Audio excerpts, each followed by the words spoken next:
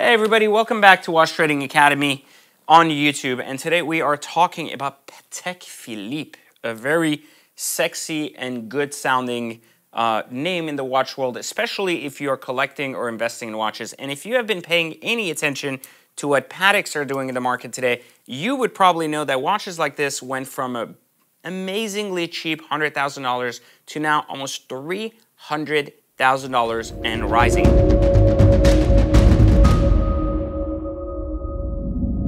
Last year alone, these were in the twos and now they're in the threes, which is pretty crazy, right? Imagine investing in watches and actually making money. Can you believe it? Right? It's pretty crazy, right? I've been saying that for like years, but people don't listen to me. But anyways, so in case you want to learn how to actually invest in watches and don't really understand where to get started or if it's for you or not or how much money you need, because obviously most people think you need hundreds of thousands of dollars, you could start with as little as $1,000, access to a post office and a computer, and there's a free training in the description for you to go ahead and learn how to do that. And yes, it is a free training just like the video you're watching now on YouTube that is free.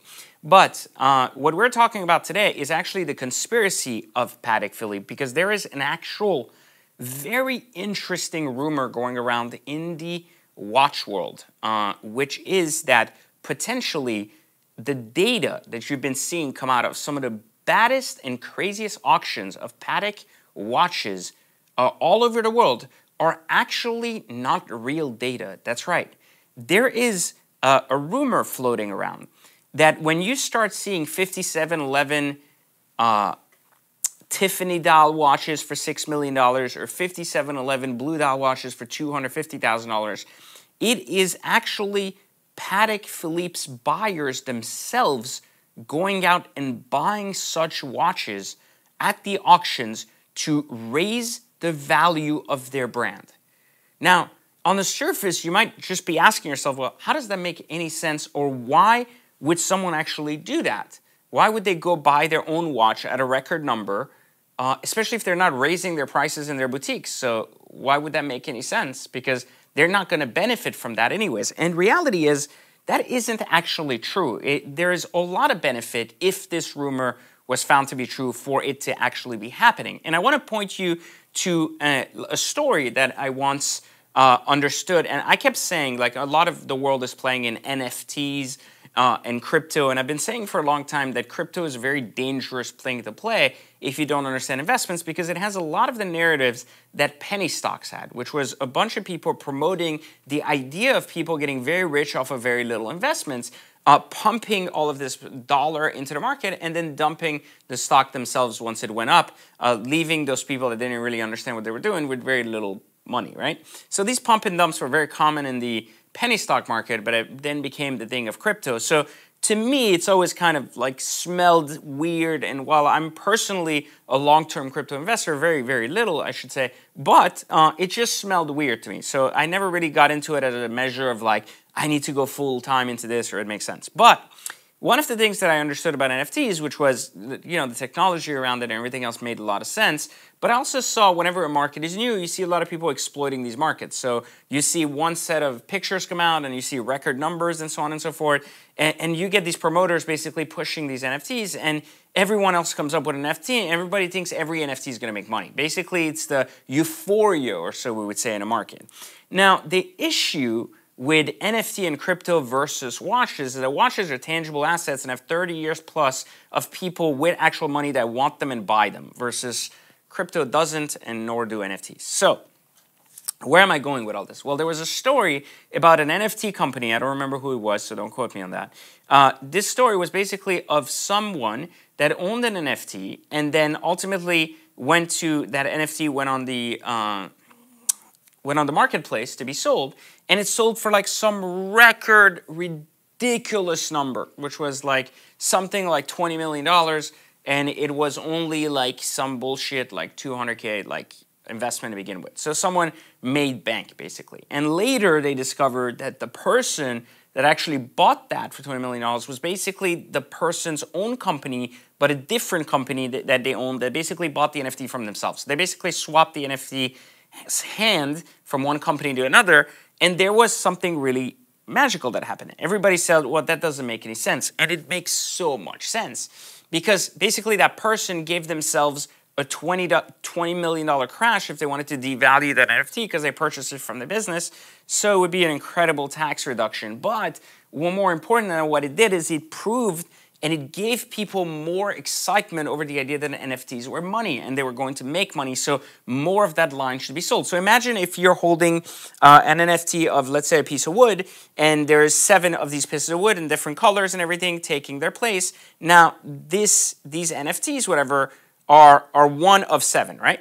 So you have all that, and then what you have is one of them sells for X, Y, and Z amount, right? But the, uh, the other ones, therefore, now have more value on the basis that that one sold for so much more. So technically, even though you paid yourself, you made significantly more value, right? So the entire idea is that if you have a tax write-off or a gain from buying your own NFT, then it made sense because it would create public perception that these NFTs are going up, or and it would give you a tax advantage on the other end if it didn't work. So ideally, that makes a lot of sense. So what would be the benefit of Patek buying their own watches? Well, let's analyze this for a second. If Patek wanted their watches to be so wanted that they guaranteed that jewelers continuously made money that would push aftermarket used sales up to a point where people would even desire their units even more, well, all they would have to do is encourage these jewelers to keep charging 100, 200K over because of limited supply, and they would have to just give jewelers ammunition to do that. And the argument would be what better ammunition than giving them auction data that the entire world is watching, making not only jewelers fight themselves for the next big wave of dollars, but also make public perception and basically this information go viral over the internet, pushing regular consumers to purchase more of these both in stores and also with secondary markets.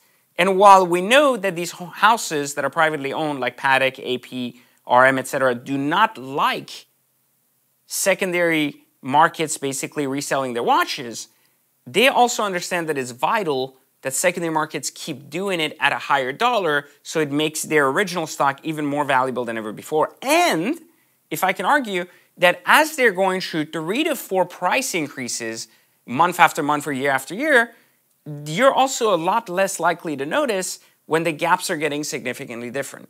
So I think there's something to this rumor that could be true because it would make sense. Now, while I have no data, and I want to be fully transparent that I have no concrete evidence of this to be true or not, but this does prove, uh, or this does at least raise awareness towards this path that, you know, for ages I've always said that the entire jewelry industry is one giant conspiracy machine, but something that's been ongoing forever is jewelers basically buying their own inventory, buying the entire market only to raise price on certain inventory. That's been going on forever, so it's never been the, the concern. But the big concern has been what if manufacturers were actually engaging in this behavior even before jewelers, and all jewelers did is basically learn it from manufacturers? It'd be pretty crazy, right? But it could be a possibility. So, what do you think? You let me know in the comments. Do you think that a house as powerful as the Patek Philippe house would compromise or jeopardize their own reputation by potentially doing this uh, and just really good at it by hiding it and making it seem like a normal transaction? Or is this just all crazy talk and really 5711s are really bringing 250,000 at auctions and Tiffany dials are bringing 6 million at auctions with no other play there? Because my biggest question has always been why would a watch sell for 250,000 at auction where it can openly and easily be bought brand new from just about every other outlet for 150,000? So historically, that just doesn't make any sense. So I never understood how that made sense. And since I couldn't make sense of it and that rumor came along, it started to make a lot more sense this way. But let me know what you think in the comments. Do you think I'm crazy? Do you think this rumor is true? And more importantly, make sure you like, turn on notifications, and subscribe for future videos on the watch market and of course on how to become a better investor in the game of watches. So we'll catch you on the next video for Watch Trading Academy.